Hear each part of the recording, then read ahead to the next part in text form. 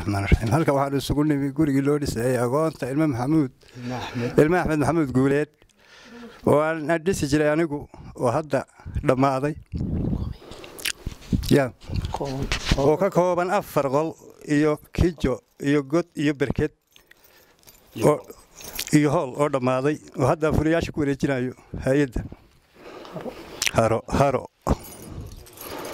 bismi illaahi raxmaan raxiim alxamdulilahi rabbilcaalamiin wasala allahu calaa nabiyina maxamedin wacala ali wsaxbi ajmaciin maanta oo taarikhdu tahay labaatan iyo toddobada bishii labaad ee laba kun iyo labaatan iyo kowda waxaan joognaa deegaanka eh, yuba eh, gobolka sanaa ka tirsan.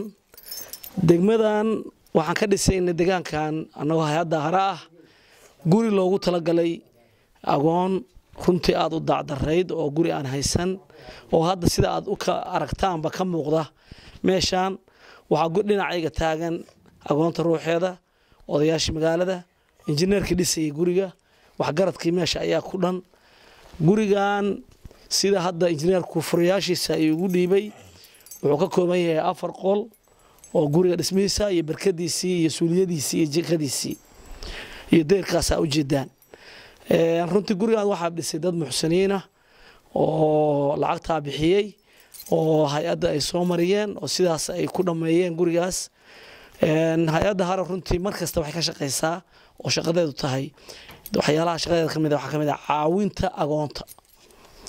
Waa shaqadeeda rasmigaa bay ka mid tahay shaqooyinkeeda ah. Wax badan bay qabataa. Waxyaalaha degdega sida abaaraha sida duufaanada si ilaahay dhib inooma keene ayay aada uga qabataa waxyaalaha sixiga iyo caafimaadka waxbay ka qabataa waxbarashada waxbay ka qabataa maxaan ku dhahaa waxyaalahaasoo dhan bay hay'addu ka shaqaysaa.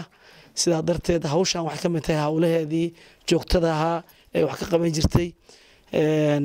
Gurigan marka furayaashiisii saaki aanu degmada yuba u joogno waxa weeye annagoo maamulka hare puntland waxaan rabnaa inaan ku wareejiyo.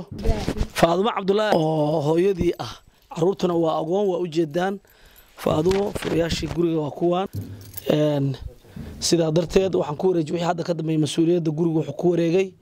Faadumo insha allah bismillahi raxmaan raxiim waa faadumo cabdulaahi axmed xasan oo dhashay agoonta ilma axmed ilma axmed maxamuud guuleed oo furi lagu wareejiyay. Maanta gurigan wuxuu ka kooban yahay qol afar qol iyo barkadii iyo suuligii iyo kijadii iyo hoolka.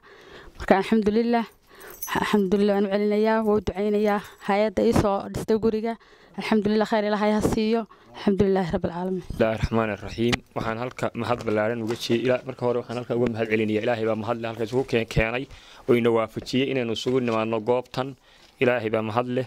Mar labaadka waxaan u mahadnaqayaa hay'adda haro oo fududaysay gurigan dhismihiisa ay soo ururiyeen dad muxsiniina.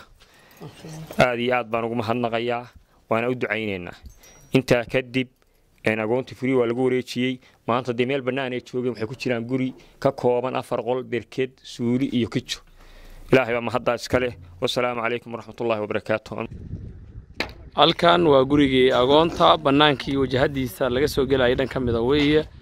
Oo aad aragtaan gurigan sida idin muuqataa waxa uu ka kooban yahay afar qol. Oo qolkii koowaad kan yahay shaqa ayaa ku socota una dhiman oo ah rajigii qolkii labaadna. Waa kan oo isna waxaa ku socota sida idin muuqata.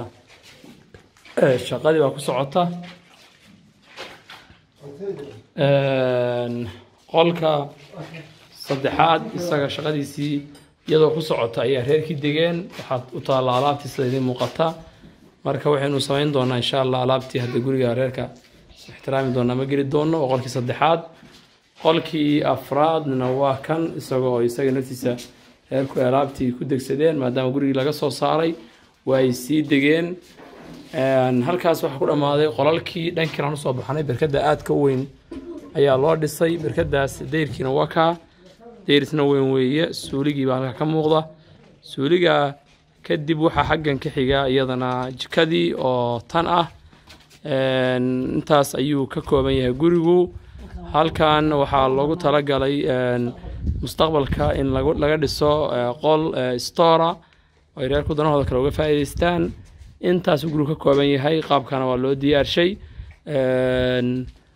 welina waxaan u socota shaqadiisii oo maaragtay gebagaba maraysa si aada u qurux badan u socota. Markii loo eego curfiga deegaanka jira ama dhaqanka qaabka guryaha looga dhisto halkan markii la soo gaaro magaalada baran ilaa cergaaba zoonkan wuxuu noqonayaa guriga qaabka ugu casrisan ee loo dhisto aaggan weeye. Asalaamu calaykum waraxmatullahi wabarakaatu.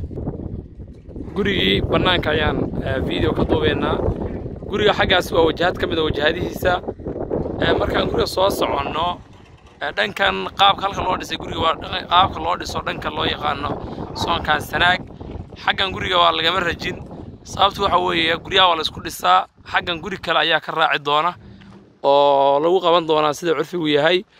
Guriga wuxuu ka kooban yahay gudihiisa kuwada jira intuu qol ahaa dayrkiisii saanad ayan tusay suuligii jikadii berkadii qolkii stoorka ahaa. Marka gurigu wuxuu mar walba la mid yahay curfiga guryaha loo dhisto. Xaggan waa wajahadii iyadana waxa u dhiman shaqo ah tii xaggaas oo kale. Aynu ku soo aragnay albaabkii laga baxayey weeye kuwan waa kii laga soo gelay hadda aan tusnay waa qaabka curfiga guryaha looga dhisto. Dhanka kale oo shaqada kale ah iyaduna sidoo kale waa shaqad dheer oo bannaan. Waa halkan waa bugcadoo qof kale ayaa ku qabsan doona siduu curfigu yahay oo guriga ku dhisan doona. Gurigii marka markaan xagga soo raacan gudaha waanigii idin tusay. Waxaan haddana tegi doonaa dhankii ahayd wajahadda oo markaa guriga aynu hadda isagoo ranjigii ku dhammaaday aan soo tusay. Saas ayuu marka gurigii inoo ku dhammaystiran yahay qolalkiisii dhinacyadiisii wax shaqaana waxa u dhiman gudaha oo maaragtay xoogaa laga naashnaashayo guriga marka saas ayuu wuxuu yahay guriga ugu casirsan aaggan waafaqsanna curfigii deegaamadatan wax looga dhisan jiray. Aadna u weyn afar qol jiko suuli berked iyo stoor dame ah. Asalaamu calaykum waraxmatullahi wabarakaatu